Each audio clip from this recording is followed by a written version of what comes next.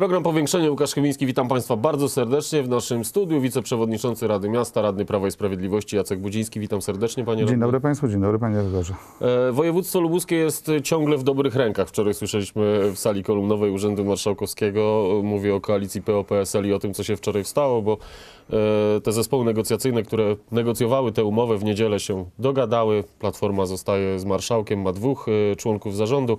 Polskie Stronnictwo Ludowe przewodniczącego Rady Sejmiku i dwóch e, wicemarszałków. Zaskoczenie dla Pana te nazwiska, to co się stało, to że Pani Marszałek została na stanowisku? Znaczy i tak i nie. No, myślałem, że przy okazji e, stworzenia starej nowej koalicji, czyli PO-PSL przy znacznie większej roli PSL w tej koalicji, jednak PSL będzie bardzo mocno parło do tego, aby mieć własnego marszałka. E, Widocznie opór Platformy był na tyle mocny, że dogadano się w ten sposób, że marszałek e, jest z Platformy Obywatelskiej, dwóch członków zarządu będzie miała Platforma, dwóch członków zarządu PSL. No i widać odprysk tej wojny e, w postaci przewodniczącego Sejmiku, którego zresztą cenię, pan Fiedorowicz, znam go od wielu lat. Został tym przewodniczącym, ale myślę, że aspiracje miał większe. Natomiast e, była to pewnie też e, element gry e, negocjacyjnej, polegający na tym, że jeżeli nie dostaliśmy trzech członków zarządu, albo nie dostaliśmy marszałka, to bierzemy także Sejmik. No i stało się jak się stało. Pan Czesław Fiedorowicz jest przewodniczącym Sejmiku. Ta koalicja ma oczywiście o wiele większą przewagę arytmetyczną niż poprzednio, bo ma 18 głosów, wtedy miała 16 i praktycznie e, może rządzić i dzielić w tym województwie przez następne 4 lata. Rolą opozycji będzie punktowanie e, potknięć tejże koalicji, a z pewnością będą, bo zawsze są. E, No i następna okazja do zmiany będzie dopiero za 4 lata, chyba że unieważnią wybory do sejmików. No, wczoraj w sali kolumnowej słyszeliśmy, że województwo lubuskie jest w dobrych rękach. Ja e, śledząc gdzieś tam doniesienia, również te internetowe, znalazłem taki wpis e, na jednym z forum e, gazet e, lokalnych o tym, że to świadczy tylko ta, ta, ta koalicja i to, że pani marszałek zostaje na stanowisku, to będzie dalsze trwonienie pieniędzy i wydawanie ich na lotnisko w Babimoście, które stoi puste i na szerokopasmowy internet, do, do którego nikt nie chce się podłączyć. No i to też jest po części prawda. Moje zdanie pan zna. Ja też uważałem, że tak gigantyczne wydatki na lotnisko nie mają jakiegoś głębszego uzasadnienia. Rozumiem z jednej strony, że to ma być okno na świat, ale nie sądzę, żeby rozwój tego lotniska spowodował e, lądowaniem samolotów e, z zespołami biznesmenów z Chin, z Ameryki czy z Afryki czy z Azji, którzy będą chcieli u nas negocjować. Bardziej to było ważne ze względów prestiżowych dla obecnej dla obecnych władz województwa, a jaka jest rzeczywistość, to pokazuje frekwencja mm, w samolotach, a jeżeli już jest wysoka, to przede wszystkim dominują, tak mi się przynajmniej wydaje, albo, albo no, dużą część tych pasażerów stanowią urzędnicy, czy, czy, czy posłowie, czy, czy osoby, które w jakichś konkretnych e, sprawach e, lecą do Warszawy. No, dla nich to jest na pewno komfort. Pytanie, czy dla finansów województwa jest to komfort. Tak? Panie radny, pan e, no, przetarł szlaki, jeżeli chodzi o wybory, bo pan startował w wyborach samorządowych do Sejmiku. Na wiosnę kolejne wybory. Pewnie będzie pan kandydatem do Rady Miasta Zielona Góra. Znaczy ja mam taką nadzieję. Już pan o tym myśli, pan się przygotowuje.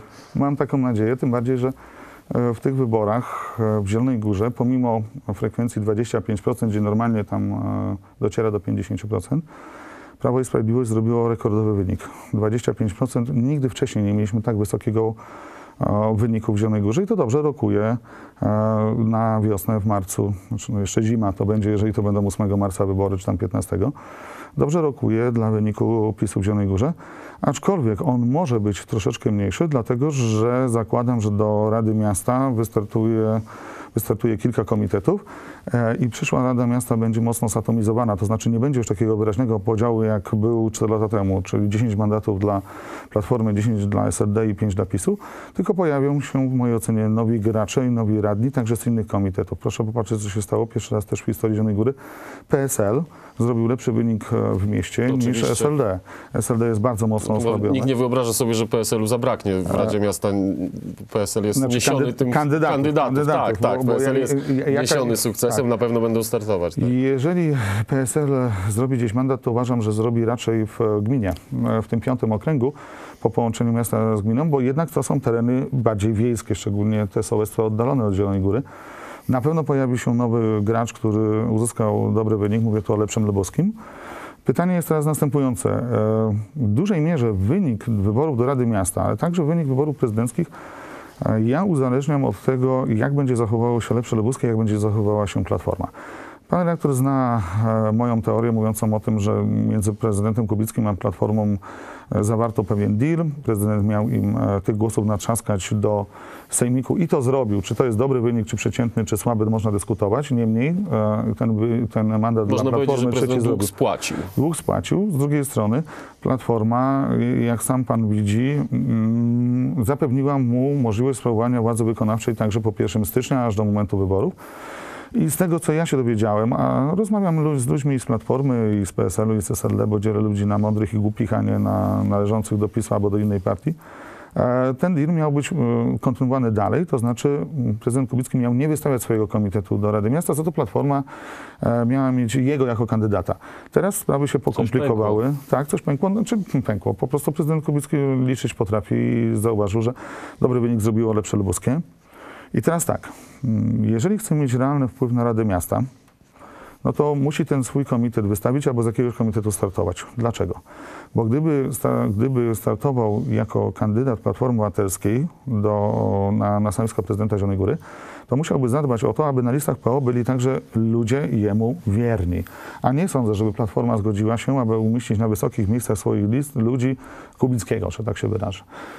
W związku z tym e, przeliczył to i woli osłabić Platformę, zdobyć na przykład pięć mandatów i w ten sposób mieć wpływ na Radę Miasta. Bo patrząc z arytmetycznego punktu widzenia, na dzisiaj na te 25 mandatów, to już 20 mamy prawie że rozdane.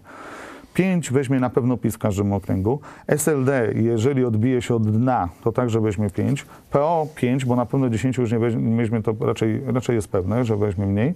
Jeżeli lepsze lubuskie, to może powalczyć o to jeszcze do tego mamy PSL. Jeszcze nie tak. wiadomo, czy jakiś inny komitet się nie pojawi. W związku z tym tak naprawdę będzie bardzo taka, nie powiem, że ostra, bo to pejoratywnie brzmi, będzie taka mocna walka o te mandaty i, i ta rada, rada będzie składała się z kilku klubów. Szereg e, koalicji nam się tak. szykuje. ja jestem akurat tego zwolennikiem. Zawsze byłem przeciwnikiem tego, aby w Radzie Miasta, czy gdziekolwiek, jedna partia miała przewagę, bo to oznacza z natury dyktat. Natomiast jeżeli e, jest tych podmiotów więcej, to oznacza, że trzeba się dogadywać, trzeba zawierać kompromisy, e, próbować A pan myśli, że lepsze lubuskie jest w stanie zwojować cokolwiek w Zielonej Górze? Bo no, wybory samorządowe do Sejmiku są zupełnie inne niż, To niż te w prawda, mieście. ale zawsze jest takie zjawisko, które nie można nie doceniać. Jest kwestią, kto ciągnie daną listę. Cztery lata temu Platforma zrobiła w mieście Zielona Góra 34% poparcia, PiS 20%, a SLD 32%. Dlaczego? Bo kandydatem SLD był Był prezydent Kubicki i on ciągnął tą listę. tak, to, tak. to jest oczywiste, tak? To nie podlega dyskusji. No to jeżeli teraz e, lepsze lubuskie, czyli pan Wadim Tyszkiewicz zdecyduje się, aby kandydatem był prezydent Kubicki, to prezydent Kubicki będzie ciągnął tą listę. E, Oczywiście tym kandydatem może być ktoś inny, na przykład senator Dowhan, na przykład był e, poseł pan Artur, europoseł pan Artur Zasada. No tych opcji lepsze lubuskie ma kilka. Sam sobie e, ten komitet jest atrakcyjny, bo już jest istniejącą marką na rynku. Prezydent Kubicki, gdyby zakładał swój komitet, no to by musiał być komitet Janusza Kubickiego albo moje miasto, no które A prezydent Janusz No, Kubicki w Zielonej Górze nie nie jest, funkcjonuje. nie jest marką? Nie można go... jest, jest oczywiście, tylko że to jest wartość dodana do lepsze lubuskie, bo jednak swoje głosy robił. Trudno stwierdzić, jaka będzie ostateczna decyzja, bo ja tam decyzji nie podejmuję. To, to, to, to, to nie są komitety z mojej bajki, ja mam swój komitet. E, Jedno jest pewne, że mm, Platforma, mm, gwarantuję panu, że wkrótce pojawią się takie bardzo negatywne opinie ze strony Platformy względem lepszego lubuskiego. No Bo będzie walka o głosy, bo tak, to, to bo- jest podobny elektorat. Bo co się stanie? Jeżeli z lepszego lubuskiego będzie startował prezydent Kubicki, a Platforma nie wystawi swojego kandydata, a będzie popierała prezydenta Kubickiego, to popełnia polityczne samobójstwo. Oczywiście. Dlatego, że nie będzie miał kto ciągnąć tej listy. Prezydent Kubicki będzie startował ze swojego komitetu lub lepszego lubuskiego, więc na pewno nie będzie ciągnął listy Platformy. Więc e, Platforma musi prze- przewartościować swoje postępowanie. Ja tam nie chcę nic podpowiadać, ja po prostu jestem, wydaje mi się, wnikliwym analitykiem tego, co się na miejscowej scenie politycznej dzieje. I ja to po prostu mówię bez żadnych emocji. Ja zadbam o wysoki wynik PiSu, tak, jako kandydat e, Prawa i Sprawiedliwości do Rady Miasta. E, i sądzę, że to poparcie uzyskam, tym bardziej, że, że z ósmego miejsca do Sejmiku zrobiłem 10 czy tam 11 wynik i, i wstydu tutaj nie ma i bardzo dziękuję wszystkim wyborcom, którzy oddali na mnie głos. E, Natomiast e, tutaj na naszych oczach no, dokonuje się pewna zmiana jakościowa w przyszłej Radzie Miasta. Panie radny, na koniec jeszcze chciałbym, żebyśmy porozmawiali o wyborach samorządowych, które już dobiegły końca, bo w niedzielę zakończyła się druga tura wyborów. E, Jak śledzę pana wpisy na portalach społecznościowych, pan jest mocno aktywny. Prawo i Sprawiedliwość e, w całym kraju jest bardzo aktywny, jeżeli chodzi o to, jak te wyniki, czy jak te wybory wyglądały, jak one przebiegały. Macie sporo zastrzeżeń i, i bardzo często pada słowo fałszerstwo. Pan się pod tym podpisuje? Rzeczywiście Czy w pana, fałsz- w znaczy pana, tak, w pana czy- opinii Czy to było fałszerstwo, czy nie, ocenią sądy, do których trafiają setki, o nie tysiące już protestów w całym kraju. Ja, zanim sąd nie wyda jak gdyby wyroku czy orzeczenia w tej sprawie, nie chcę się na ten temat wypowiadać. Natomiast jestem człowiekiem, który potrafi analizować fakty. Za takiego się mam. I panie Łukaszu, no nikt mi nie udowodni, że te wybory zostały przeprowadzone prawidłowo. Już począwszy od legendarnej awarii systemu, to jest, to jest w ogóle dla mnie niepojęte, żeby w państwie 27 gospodarka świata, żeby nie potrafić przeprowadzić wyboru, to to po prostu jest skandal. Dymisja całego składu PKW jest jak najbardziej zasadna. Natomiast jest wiele rzeczy, które budzą mój niepokój. Pierwsza, w samym województwie lubuskim 21% głosów było nieważnych. Nikt mi nie wmówi, że to był protest wyborców przeciwko całej klasie politycznej. Nie ma takiej opcji. Nie ma takiej opcji. Poza tym taki Druga- protest z tego, co no, byłby na pewno sygnalizowany przez wyborców. Gdzieś, Oczywiście, gdzieś jest- myśmy o takim proteście słyszeli. Tak, tak, tak. To by była grupa niezdecydowanych, na przykład 20 czy 40%. Ale nie zmienia to faktu, że wyborcy mogli się po prostu pomylić. E, Zgadza się, ponieważ e, mm, e, jak gdyby weszła nowa, nowa technika głosowania. Wyborcy dostali książeczki, a jednocześnie w telewizji był spot PKW, oddajcie głos na każdej kartce, więc każdy mógł to zrozumieć, że na każdej tej kartce ma oddać W tej jeden głos. broszurze, tak. Brosu, broszurze. Ja rozumiem, dlaczego ta broszura broszura się pojawiła, bo chodziło o nakładki Braille'a dla osób nie- niewidomych lub nie- niedowidzących. Ale gdybyśmy sięgnęli pamięcią, to po raz pierwszy tego typu książeczki pojawiły się w województwie mazowieckim w 2010 roku.